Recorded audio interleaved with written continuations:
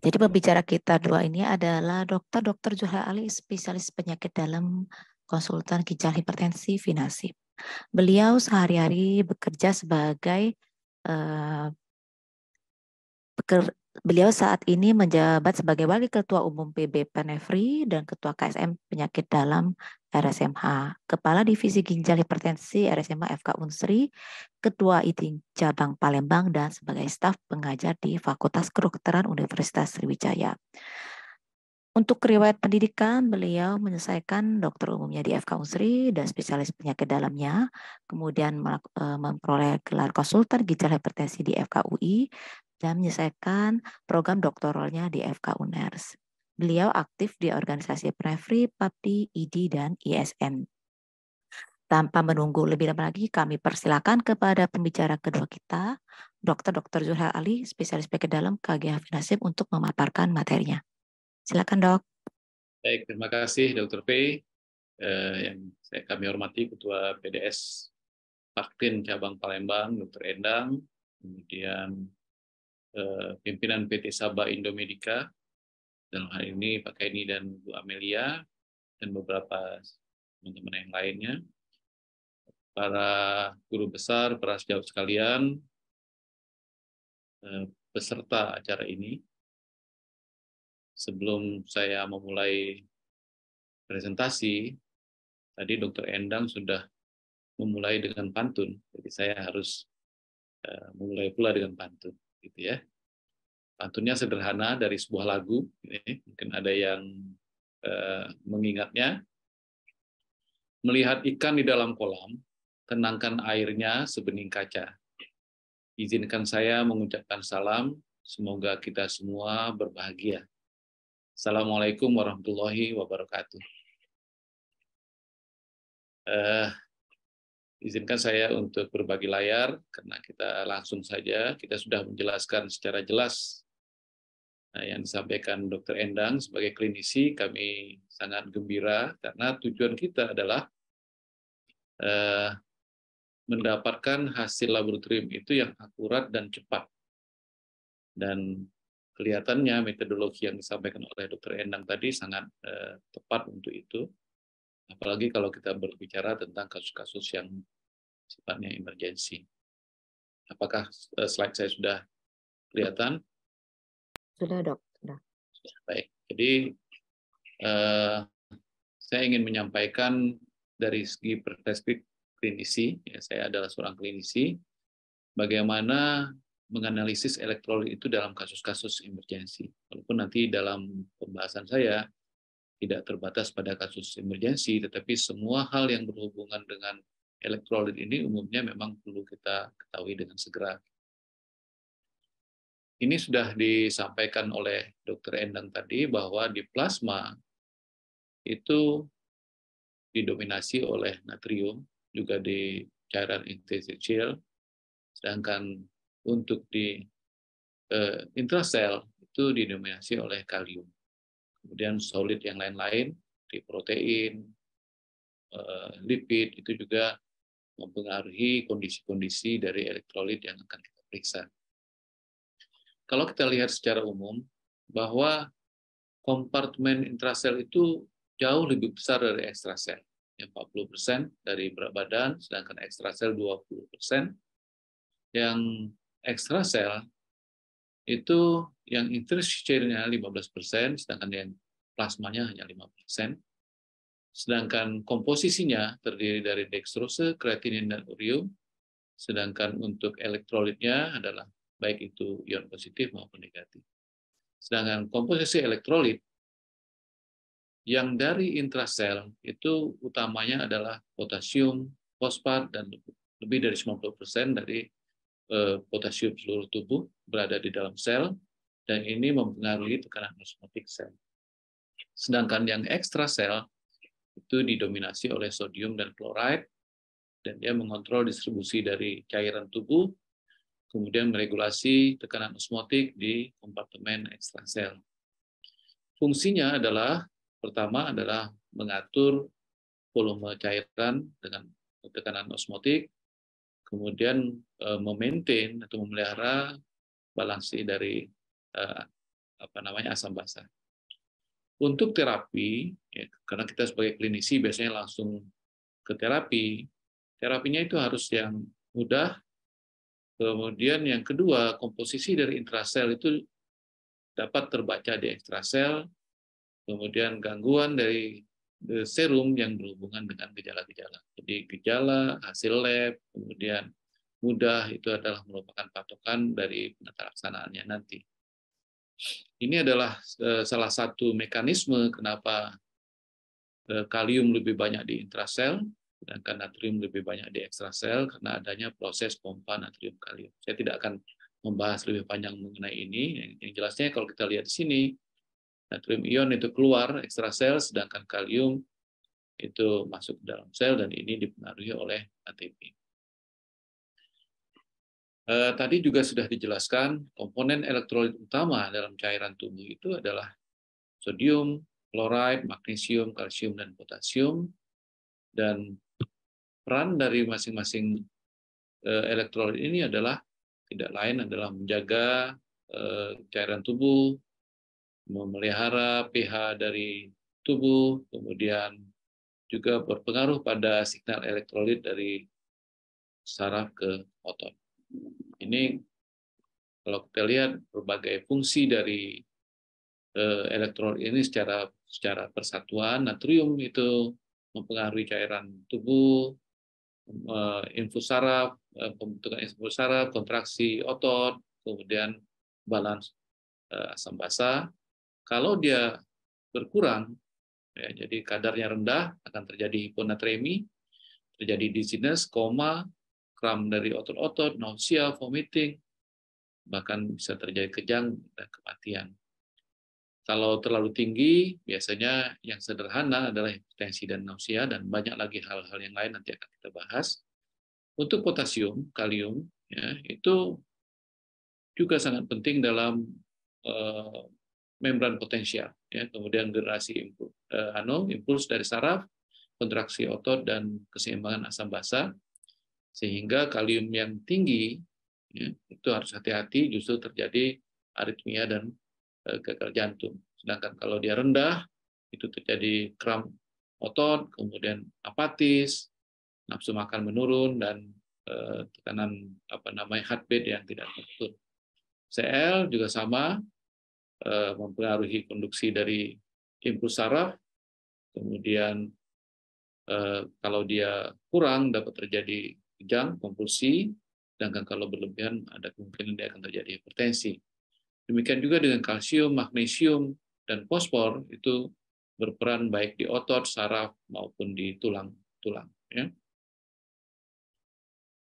Eh, problem yang mungkin terjadi kalau terjadi gangguan dari elektrolit ini tentu eh, pasien itu akan semakin lama dirawat, kemudian meningkatkan morbiditas dan mortalitas dan ini cukup tinggi terjadi pada 15 sampai 30% pasien dan bahkan kadang-kadang kita tidak mengetahuinya. Jadi tidak tidak ngeh lah begitu dengan ternyata ada yang tidak diketahui karena tidak diperiksa atau sudah diperiksa tapi lupa untuk melihat. Jadi harus betul-betul ada kerjasama antara baik dari analis, kemudian dari perawat maupun dari dokternya agar pasien dapat terlindungi dari kealpaan ini. Ini adalah eh, suatu apa namanya inovasi dari sejawat kita Setian Radar ini saya dapatkan dari dari eh, apa namanya dari Google beliau membuat algoritma elektrolit di hampir seluruh elektrolit.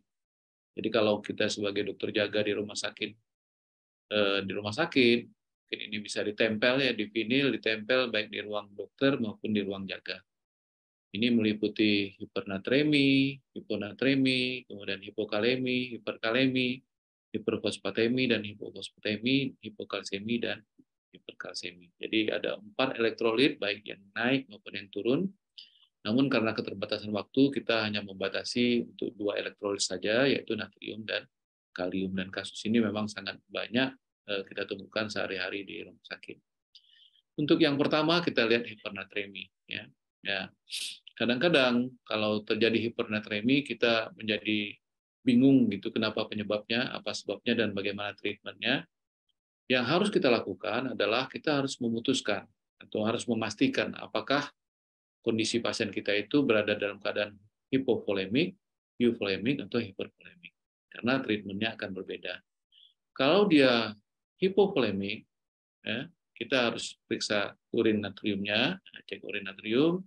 Kalau dia lebih dari 20, itu kemungkinan penyebabnya dari renal loss, sedangkan kalau kurang dari 10 dari eksternal renal, misalnya muntah, diare, keringat yang banyak, dan pengobatannya adalah yang pertama kita harus memberikan justru salin dulu, ya salin 0,9 persen.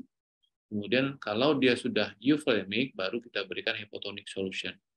Kenapa tidak kita berikan langsung hypotonic solution? Ini akan dapat menyebabkan terjadinya eh, apa namanya penarikan dari Eh, eh, elektrolit yang dari intrasel ke ekstrasel itu justru lebih berbahaya. Sedangkan kalau dia euvolemic, maka pengobatan kita adalah dengan dapat memberikan hipotonik baik dengan D5 maupun dengan D5 NaCl yang setengah. Sedangkan kalau terjadi hipervolemic, jadi ini masuknya cairan dan natrium yang sama banyaknya, itu harus juga kita cek, semuanya harus kita cek natrium urin dan pengobatannya justru kita harus lakukan diuretik dan dialisis. Jadi untuk menarik cairan, kemudian kita berikan diuretik sehingga kalau cairannya keluar, diharapkan natriumnya juga akan keluar. Ini tadi saya ulangi secara sederhana bagaimana pengobatan dari hipernatremi, baik yang hiper, uh, uh, hipovolemik, euvolemik, dan hipervolemik. Ini yang harus dihati-hati bahwa kalau yang hipo kita tidak boleh langsung dengan hipotonik, dengan euvolemik boleh, sedangkan yang hipervolemik justru harus kita tarik cairannya, baik dengan diuretik maupun dengan hemodialisis. Ya. Yang kedua adalah hiponatremi. Jadi kalau natrium pasien-pasien kita kurang dari 135, itu kita anggap sebagai hiponatremi, dan yang harus kita e, pastikan apakah pasien itu isotonik, hipotonik, atau hipertonik. Ya. Ini yang harus kita jaga betul ya. Jadi apakah pasien itu isotonik, hipotonik dan hipotonik. Kalau itu sudah dibuktikan, kalau dia hipotonik, kita harus lihat volume statusnya. Apakah dia hipovolemik, euvolemik, atau hipervolemik. Karena semuanya ini lagi-lagi sangat mempengaruhi pengobatan kita. Dan ini nanti akan harus kita periksa lagi natrium urinnya. Jadi natrium urin itu sangat berperan karena di sana dapat kita lihat etiologinya apakah dia berdasar uh, disebabkan oleh uh, renal loss ataupun extra renal loss.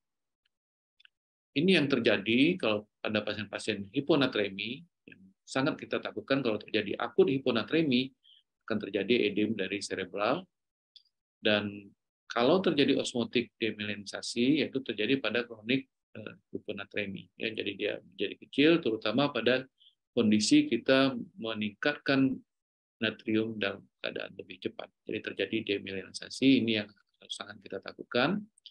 Sedangkan pengobatannya itu dapat kita bagi sebagai akut, kronik, dan eh, simptom simptomatik dan asimptomatik. Ya.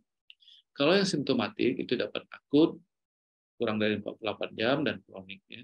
Untuk yang akut, itu harus kita berikan hipertonik salin 3% umumnya 1 sampai 2 ml per kilogram berat badan per jam dan digabung dengan furosemide. Ya, sedangkan yang kronik itu durasinya lebih lama, itu biasanya kita melakukan pengobatan lebih lebih lambat gitu ya. Untuk yang asimptomatik sebetulnya koreksi tidak perlu terlalu cepat. Kadang-kadang kita ketakutan kalau tahu-tahu eh, hiponatremi kita 132 saja sudah takut, sudah dilapor, harus berikan langsung hipertonik salin. Sedangkan gejala-gejala tidak kita temukan. Gitu. Nah, yang berikutnya adalah sodium atau kalium. Untuk hipokalemi, ya, juga harus kita buktikan apakah dia karena faktor distribusi, karena alkalosis, insulin, misalnya kita masukkan insulin sehingga dia masuk ke dalam sel, itu harus kita jaga. Kemudian harus kita buktikan apakah dia ekstra renal atau renal. Patokannya adalah lagi-lagi kadar kalium urin. Gitu. Kalau dia kurang dari 20 mg per hari, itu kita anggap sebagai ekstra renal, yang mungkin dari muntah, mungkin dari eh, apa namanya fistula, dan kemungkinan dari keringat. Sedangkan untuk yang renal loss itu umumnya kaliumnya akan sangat tinggi 20 harus kita buktikan lagi apakah ada tekanan darah tinggi atau tidak. Kalau tekanan darah tinggi dia kecenderungannya ke arah hiperaldosteronisme dan beberapa hal yang lain.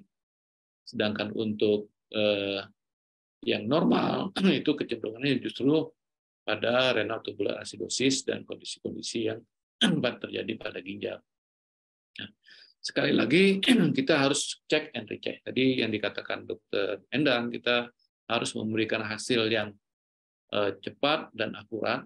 Kita sebagai klinisi punya juga patokan lain, yaitu eh, dengan pemeriksaan EKG. Ya, dalam keadaan normal, ini kira-kira 4, itu terjadi gambaran EKG yang normal. Namun dalam keadaan hipokalemi, ya, kalau dia baru tiga, itu terjadi eh, TWF-nya itu lebih rendah, sedangkan gelombang U-nya lebih tinggi. Yang jadi ada gelombang U di sini tidak ada. Kalau dia lebih rendah lagi, ini maaf dua setengah ya, akan terjadi eh, penurunan yang lebih rendah pada T-wave dan U yang lebih tinggi, dan ST segmennya lebih memanjang. Jadi jadi hal-hal yang seperti ini yang yang harus kita perhatikan untuk konfirmasi apakah lab kita sesuai dengan klinis. Ya. Bagaimana pengobatan hipokalemi yang juga cukup banyak. Yang pertama kita tentu sama seperti natrium tadi, kita harus identifikasi penyebabnya, kemudian perkirakan defisitnya, berikan oral potasium, kalau tidak bisa, kalau sangat rendah, kita harus berikan IV eh, replacement, jadi intravenous, dan yang juga sangat penting adalah monitor dari eh, serum kalium beberapa PPK kalau kita lihat itu monitor kalium itu bahkan setiap jam. Jadi oleh sebab itu kita membutuhkan pemeriksaan NEP lagi-lagi yang cepat dan akurat. Ini untuk pemberian oral ya pada kondisi-kondisi hipokalemi yang rendah dapat kita berikan garam potasium, kloride, bikarbonat, kemudian dosisnya 2 sampai 4 mg. Kemudian juga beberapa makanan yang banyak mengandung garam, mengandung kalium seperti Eh, pisang, kemudian orange juice, dan daging. Itu dapat diberikan eh, kepada pasien-pasien kita. Eh, kapan kita berikan intravenous itu kalau kaliumnya kurang dari dua setengah, sudah terjadi perubahan EKG, sudah terjadi kelemahan dari otot-otot. Biasanya dia malah terjadi tetraparese, tidak bisa bergerak sama sekali karena kaliumnya sangat rendah. Dan yang harus kita perhatikan dalam pemberian kalium intravenous ini adalah yang pertama eh, kecepatannya itu tidak boleh lebih dari 40 meg per jam. Jadi kalau dia lebih itu harus di split atau harus kita berikan secara vena sentral. Dan juga sekali lagi monitoring harus sangat ketat, jangan sampai terlalu cepat atau justru eh, sangat lambat. Sedangkan yang terakhir yang akan kita bahas adalah mengenai hiperkalemi. Ya, hiperkalemi ini juga dapat disebabkan oleh hemolisis, trombositosis, leukositosis, terjadi redistribusi seperti natrium tadi, kalium tadi, ya. Kemudian juga ada kalium, kemudian kalium yang terlalu cepat. Yang kita perhatikan di sini adalah eh, apakah ada terjadi gangguan fungsi ginjal atau tidak. Ya, kalau GFR-nya kurang dari 20, itu kemungkinan penyebabnya adalah karena gagal ginjal, sedangkan kalau lebih dari 20, ini bisa disebabkan oleh hal-hal yang lain, yang baik itu kekurangan aldosteron maupun terjadi gangguan eh, yang yang lain seperti obstruksi, SLE, amyloidosis dan obat-obatan. Ya. Kita juga dapat mengkonfirmasi dengan EKG. Ini kalau kita perhatikan di sini dalam keadaan normal, ini EKG-nya kalau dia eh, kaliumnya 4, sedangkan kalau dia sudah tinggi sampai 7, eh, ini terjadi high T-wave. Jadi T-nya sangat tinggi. Kalau dia sudah lebih dari 9, itu justru dapat terjadi blok, ya, intraventricular block, dan ini sangat berbahaya karena dapat menyebabkan kematian. Sedangkan obat-obatnya, obat-obatan untuk hiperkalemi, ini umum sekali kita berikan. Yang pertama adalah kalsium glukonat, ini harus diberikan segera. Dia tidak menurunkan kadar kalium, tetapi dapat melindungi otot-otot jantung dari serangan-serangan jantungnya. Kemudian dapat diberikan bignat, ya yang umum kita berikan karena onsetnya juga cukup cepat 15 sampai 30 menit adalah pemberian insulin dan glukosa Jadi kita berikan insulin dan glukosa dengan berbagai cara, baik dikombinasikan dengan eh, apa namanya infus maupun bisa juga dengan bolus 40%. Nah, yang jarang kita lakukan sebenarnya cukup bermanfaat yaitu nebulasi albuterol. Ini eh, beta 2 agonis ini dapat kita berikan. Jadi untuk kondisi-kondisi yang sangat tinggi yang tidak dapat kita lakukan hemodialisis misalnya semua cara ini dapat kita lakukan termasuk dengan pemberian oral baik dengan sodium polistren sulfonat ataupun sekarang sudah cukup banyak obat-obat yang cukup efektif di antaranya adalah zirconium siklosilikat dan petiromer ya. Namun sayangnya dua obat terakhir ini belum belum terregistrasi di Indonesia. Nah, bagian yang terakhir saya ingin menyampaikan berbagai eh, studi tentang bagaimana perubahan elektrolit pada pasien-pasien penurunan fungsi ginjal. Ya.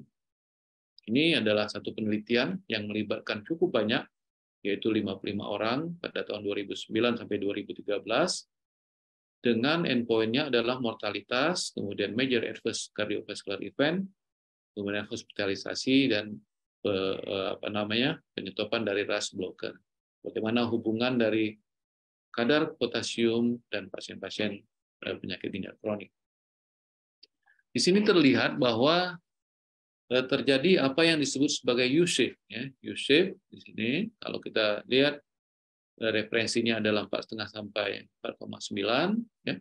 Mortalitas itu akan meningkat sampai tiga kali lipat kalau dia turun ya, di bawah tiga dan juga meningkat kalau dia eh, di atas 6 ya di tiga setengah dan di atas 6 dia meningkat jadi seperti UC ini angka kematian akan meningkat jadi harus kita waspadai untuk kurang dari tiga setengah saja atau lebih dari enam itu harus lebih hati-hati untuk uh, segera dilakukan treatment. Dan kondisi ini juga dipengaruhi oleh kadar GFR. Jadi pada pasien-pasien dengan GFR yang lebih rendah dari 30, kondisi ini akan semakin meningkat jika dibandingkan dengan yang 30 sampai 39. Ini eh, kemudian yang 40 sampai 49 dan di bawah 60. Dan semua perbedaan ini itu ternyata secara statistik bermakna. Jadi ya, harus lebih hati-hati bahwa semakin rendah eh, kadar eh, sebenarnya GFR laju filtrasi glomerulus maka serum kaliumnya akan semakin meningkat.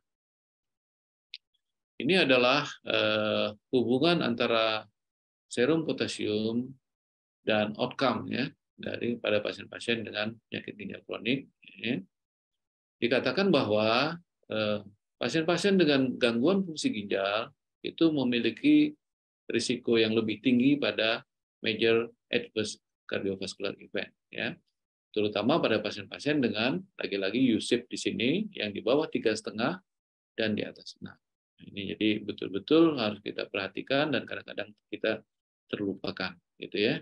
Ini juga kasusnya juga dipengaruhi oleh kadar GFR. Semakin rendah kadar GFR, tentu kadar kaliumnya akan cenderung akan semakin tinggi. Ya. ya. Dan yang berikutnya adalah bagaimana hubungannya dengan hospitalisasi. Ya, juga demikian. Ya, tapi yang kita lihat di sini adalah justru hospitalisasi itu lebih utama pada di atas 6. Jadi di atas 6 ya, itu akan semakin meningkat ya untuk GFR yang kurang dari 30 ya. Kalau 30 sampai 39 itu relatif hampir sama kadar kaliumnya ya. ya. Yang kedua, ini bagaimana perubahan untuk pasien-pasien yang ini tadi ya perubahan pada pasien-pasien pada saat eh, hemodialisis. Ya, ini juga penelitian pada 66 pasien yang melibatkan 1.713 eh, peristiwa level eh, hemodialisis. Ya. Dan ternyata pada post HD itu 40% hipokalemi, dan 67% hipofosfatemi. Hipofosfatemi disuruh menguntungkan bagi kita, sedangkan hipokalemi itu harus kita waspadai. Ini ya, ada yang menurun, serum potasium menurun, fosfor menurun, magnesium menurun, sedangkan yang meningkat adalah bikarbonat, kalsium dan serum albumin. Beberapa kondisi di sini memang kita harapkan, gitu ya, seperti eh, ini. Ya, lanjutnya yang eh, terjadi penurunan itu adalah eh, yang peningkatan, mohon maaf, adalah sodium, bikarbonat, kalsium, dan albumin. Dalam kondisi ini eh, beberapa hal kita menginginkan seperti albumin dan bikarbonat, kalsium juga demikian, tetapi yang harus kita waspadai kalau terjadi peningkatan yang eh, ekstrim dan terjadi penurunan potasium, magnesium, dan fosfor. Eh, untuk kita ketahui bahwa pada pasien ginjal ini kaliumnya umumnya tinggi, potasiumnya kalau dia sedikit rendah itu akan menguntungkan bagi kita, tapi kalau dia menjadi hipokalemi berat itu harus kita waspadai. Ya. Ini gambaran perubahan elektrolit ya, pada pasien-pasien dialisis dikatakan bahwa eh, 19% itu kaliumnya lebih rendah dari 135, 40 persen Eh, pos handi potasium kurang dari 135, sedangkan 11 persen kalsiumnya itu kurang dari 10,4. Nah, ini juga bagaimana perubahan dari elektrolit, ya ternyata selain dari bikarbonat, ya banyak elektrolit setelah hadi itu terjadi penurunan dari lower limit. Jadi kita takut dia sangat tinggi, tapi ternyata dia terjadi hipokalemi. Dan yang terakhir, ini adalah bagaimana hiperkalemi yang berat, ya, sehingga dapat menyebabkan perawatan bahkan terjadi mortalitas. Itu hati-hati pada pasien-pasien dengan aki. Ya, ini kalau kita lihat serum kaliumnya level tinggi, ada onset akinya yang lebih berat, infeksi, pendarahan, kemudian masuk ke ICU. Ini semuanya dapat mempengaruhi uh, mortalitas. Ya. Eh, sebaliknya eh, beta blocker itu relatif uh, rasionya lebih rendah. Saya kira itu yang dapat saya sampaikan, Dr. P. Terima kasih. Lebih dan kurang saya mohon maaf. Wassalamualaikum warahmatullahi wabarakatuh.